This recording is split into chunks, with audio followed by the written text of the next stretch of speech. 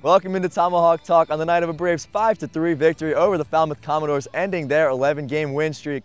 But Carson Field, there was a different head coach in the dugout tonight for the Bourne Braves. Yeah, that was Aaron Meyer. He's a graduate assistant at Missouri State University, where he actually played before joining their coaching staff. Had a career-ending injury and made that transition over to coaching. He's done a nice job there, and obviously a big win tonight. So that was definitely, definitely a confidence booster for him and just a few years older than us, which is the crazy thing. Good for Aaron Meyer.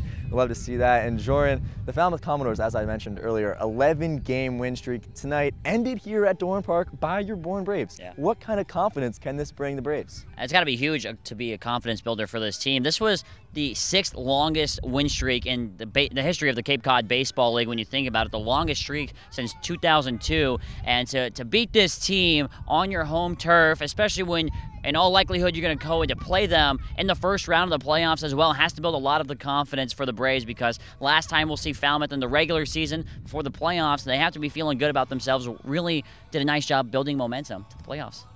And a lot of what had to do with this victory tonight, Carson, was that clutch hitting that's been there and not there throughout the season. But tonight, it definitely was. Yeah, it really was on full display tonight. A couple of home runs from Jake McKenzie. A little bit of question whether those were fair or foul, but that's beside the point.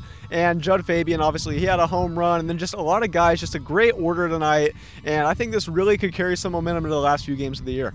So going into the last few games of the year, tomorrow we play at Brewster, 5 o'clock. We'll see you then.